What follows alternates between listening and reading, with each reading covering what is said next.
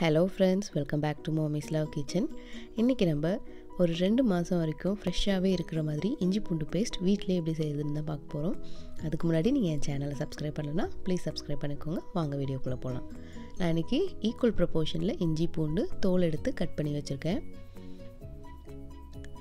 நம்ம வந்து கடையில் வாங்குகிற இஞ்சி பூண்டு பேஸ்ட் பிடிக்காம தான் நம்ம வீட்டிலேயே செய்கிறோம் பட் நம்ம வீட்டில் செய்கிற இஞ்சி பூண்டு பேஸ்ட் சம்டைம்ஸ் என்ன ரீசன்னாலையோ தெரில அது வந்து ஒரு ஒன் வீக்குக்கு அப்புறம் கலர் சேஞ்ச் ஆக ஆரம்பிச்சிடும். லைட்டாக க்ரீனிஷ் கலரில் ஆகிடும் அந்த மாதிரி ஆகாமல் இருக்கிறதுக்கு தான் நான் இந்த மெத்தட் உங்களுக்கு சொல்லித்தரேன் இப்போ வந்து இந்த மிக்ஸி ஜாரில் போட்டாச்சு. இப்போது ஒரு ரெண்டு டேபிள் ஸ்பூன் எண்ணெய் குக்கிங் ஆயில் நீங்கள் யூஸ் பண்ணிக்கலாம். ஊற்றி வந்து நம்ம நல்லா ஃபைனாக நல்லா ஸ்மூத் பேஸ்ட்டாக அரைச்சிக்க போகிறோம் இதுக்கு வந்து நீங்கள் ஒரு சொட்டு தண்ணி கூட நீங்கள் ஊற்ற தேவையில்லை.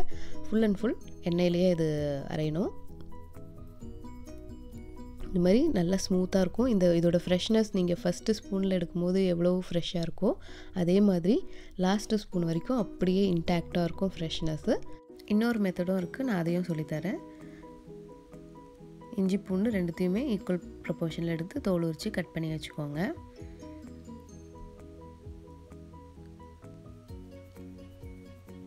அது கூட கொஞ்சம் வினிகர்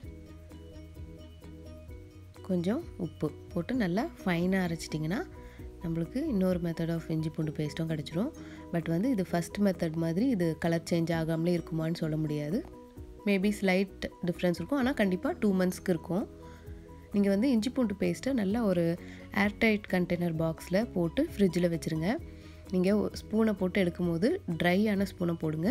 வெட்டான ஸ்பூனை போட்டிங்கன்னா அது சீக்கிரம் ஒரு மாதிரி ஸ்மெல் வர ஆரம்பிச்சிடும்